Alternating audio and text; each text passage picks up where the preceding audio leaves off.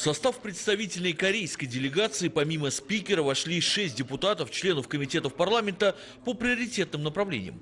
Это государственное управление, финансовая политика, промышленность, торговля, энергетика, транспорт, сельское хозяйство, экология, здравоохранение, трудовые отношения, культура, спорт и туризм. В ходе беседы были рассмотрены актуальные вопросы двухсторонней и региональной повестки – подчеркнута важная роль парламентов в укреплении отношений дружбы и особого стратегического партнерства между Республикой Узбекистан и Республикой Корея. Глава нашего государства с глубоким удовлетворением отметил продолжающиеся активные обмены и динамичное развитие узбекско-корейского полномасштабного взаимодействия. В начале этого года успешно проведен онлайн-саммит лидеров двух стран – Пак Бён Сок, выразив глубокую благодарность за теплый прием, передал лидеру Узбекистана искренние приветствия и наилучшие пожелания от имени президента Республики Корея Мун Дже Ина. На встрече отмечалось, что в условиях непростой глобальной экономической ситуации обеспечивается сохранение объемов взаимной торговли.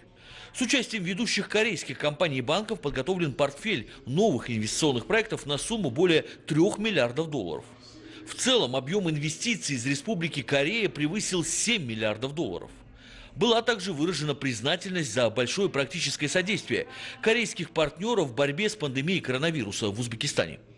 Спикер и депутаты Национальной Ассамблеи искренне поблагодарили президента Узбекистана за активные усилия по расширению многопланового сотрудничества между двумя странами, а также твердую поддержку усилий Сеула по мирному урегулированию ситуации на Корейском полуострове, региональных инициатив в рамках реализации новой северной политики – подтверждена важность продолжения тесного диалога в рамках форума сотрудничества Республика Корея, Центральная Азия. Были также рассмотрены вопросы осуществления совместных программ в области здравоохранения, образования, науки и культуры, гуманитарных обменов. 우리 미리지역 미리지의 대통령과는 на встрече с господином президентом Шавкатом Мирзиёевым мы обсудили широкий спектр сотрудничества между нашими странами. В частности, остановились на дальнейшем развитии взаимоотношений в сфере здравоохранения, просвещения, дошкольного образования, инновационного развития, цифровизации, а также диверсификации отрасли промышленности. Между президентами наших стран Шавкатом Мирзиёевым и Мун Дже Ином складываются очень теплые личные взаимоотношения. Мы считаем, что такой диалог заложил основу для выведения двустороннего сотрудничества на уровень особого стратегического партнерства. Сегодня в ходе беседы господин президент был очень искренен, откровенен.